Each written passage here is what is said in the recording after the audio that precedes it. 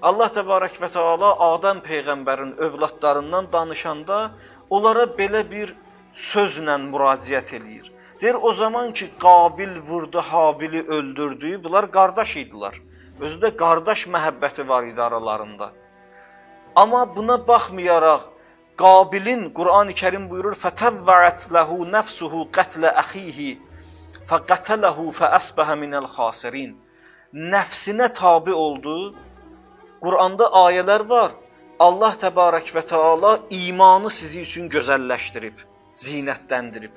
Müqabildə nəfs sizi üçün günahı gözəlləşdirməyə qərar verir. Çox incəlik var burada.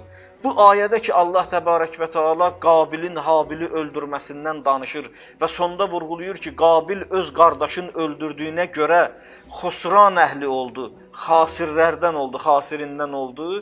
Orada incəliklə vurğulayır ki, Qabil bu işi öz başına görmədi. Fətəvvəət ləhu nəfsuhu qətlə əxihi. Onun nəfsi onu üçün qardaş ölümün gözəlləşdirdi. Yəni qardaşı öldürməyi nəfsi onun üçün gözəlləşdirdi.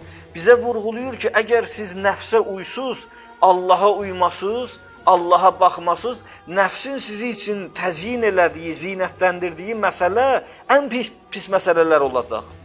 Qardaş ölümünə gətirib axırda sizi yönəldəcək, yönləndirəcək. Bir gün içki içəcəksən, nəfs sənə bunu gözəl göstərəcək. Bir gün zina eləyəcəksən, nəfs sənə bunu gözəl göstərəcək. Bir gün günah eləyəcəksən, nəfs bunu gözəl göstərəcək. Niyə nəfs bunu gözəl göstərir? Çünki sən Allahın gözəl göstərdiyinin dalınca deyilsən. Allahın sənə gözəl göstərdiyi başqa məsələdir. Nəfsin sənə gözəl göstərdiyi başqa məsələdir. Quran bizə vurğulayır ki, nəfsin gözəl göstərdiyi bu idi ki, Qabil ki öz qardaşını çox istəyirdi. Onda ki onu öldürdü, gördü, həşərat, heyvanlar, quşlar, yırtıcılar gəldilər onun cənazəsinin üstünə, gəldi öz qardaşını götürdü, atdı çiyninə. Qardaş da istəyir onu. Atdı çiyninə dedi onların əlindən alım. Əgər onu istəməsəydi, öldürsəydi, onu niyə onların əlindən almaq istəyirdi? Rəvayət deyir ki, onu aldı, atdı çiyninə. İstəmədi ki, onun cəsədini yırtıcılar yırtsınlar. Yəni onu öldürməyin səbəbini də Quran buyurur ki, nəfsinə tabe olmaq oldu. Fətəvvəət lehu nəfsəhu. Quran buyurur ki, onun nəfsi o ölümü, öz qardaşını öldürməyi onun üçün zinətləndirdi, gözəlləndirdi. Fətəvvəət lehu nəfsuhu qətlə əxihi. Onun nəfsi öz qardaşını öldürməyi onun gözündə dəyərləndirdi, zinətləndirdi, gözəl göstərdi.